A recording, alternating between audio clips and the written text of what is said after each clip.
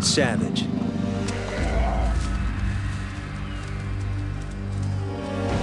Stealthy.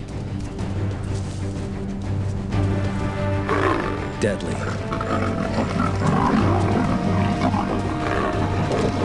Leopards are Africa's most elusive big cat.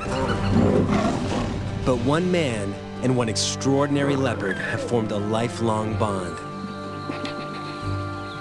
and opened a window into the world of these mysterious predators.